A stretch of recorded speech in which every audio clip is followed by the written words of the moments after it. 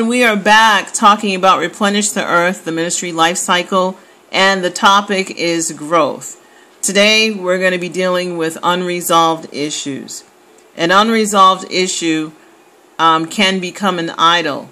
And if we don't resolve the issue, the idol could um, cause us to have issues. Um, idols we fail to dethrone and sexuality untamed are characteristics from the environment of this world. So unresolved issues can come on as things that we've adapt adapted. Uh, even in some cases, some um, religious uh, re re religion and religious spirits, for example, um, they can become things that we've exalted above the knowledge of God. And if you don't dethrone them, they can become an unresolved issue. Let me read 1 John 2, verse 16. And it says, For all that is in the world, the lust of the flesh, and the lust of the eyes, and the pride of life, is not of the Father, but is of the world. All right, so what is an unresolved issue? Uh, it, as long as it's unresolved and you know it's there, then there's something that keeps you disconnected from the Lord. So we got to think about how do we maintain our connection with the Lord? Because your connection is your life source. You need that life source for creativity. And anytime, so when you think about your creativity and when you think about having moments where you're stuck and you can't create, or you're having a problem finishing something, think about any unresolved issue. An example of an unresolved issue is something that you fail to put under or dethrone, right? Some understanding that you fail when you fail to understand, that means you fail to come under, be, uh, under a stance, right?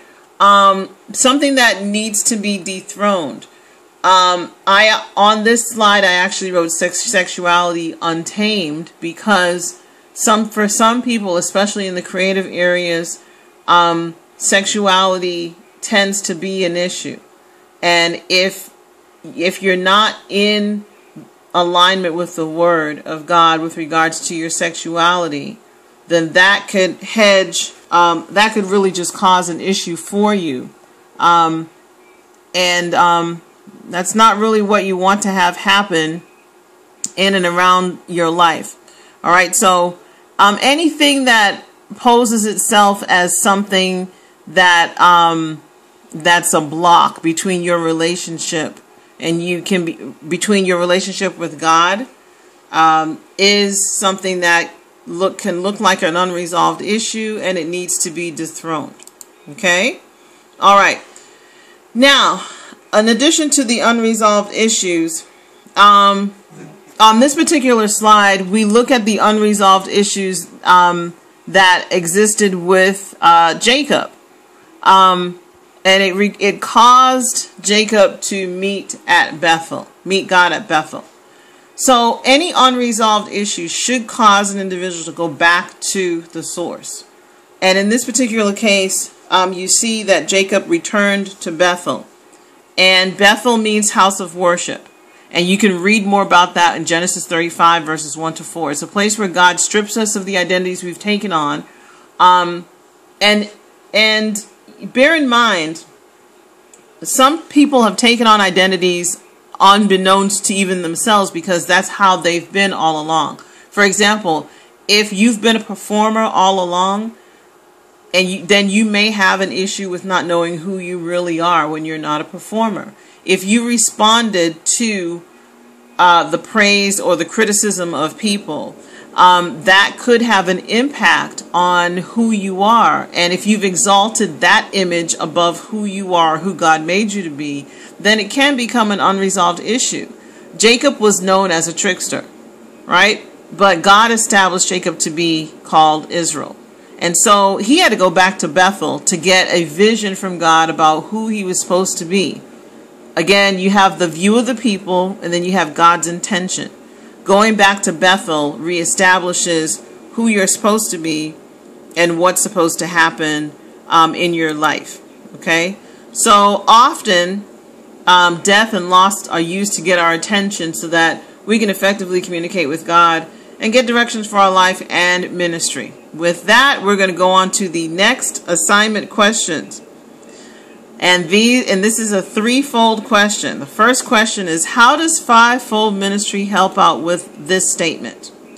Um, those of you that don't know fivefold ministry, fivefold ministry comes from a scripture in the New Testament that says, and he gave some apostles, some prophets, some pastors, some evangelists, some teachers.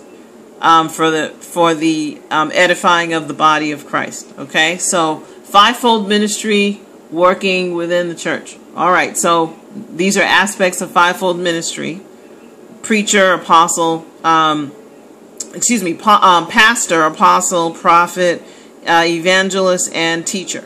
All right. So now how does the fivefold ministry help out with the statement? Aligning your vision with people of like minds can assist you in accomplishing your objective and expand your reach and efficacy.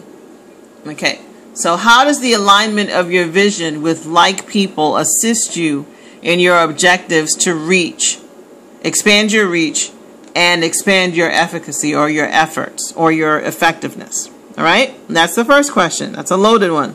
The second question What do you think um, the stage represents and where is it. And when I say stage, I can replace stage with platform. Um, some people might say pulpit. It just depends on what aspect of music and arts ministry you're in.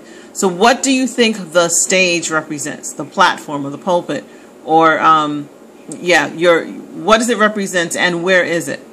Okay, um, and that is a little bit of a trick question. So I want you to think about that. And the third and final question is how can one determine where their ministry stage is? Who would you say you're called to minister to, and specifically, what evidence exists that leads you to this conclusion? And those are the questions for this week. I look forward to hearing from you.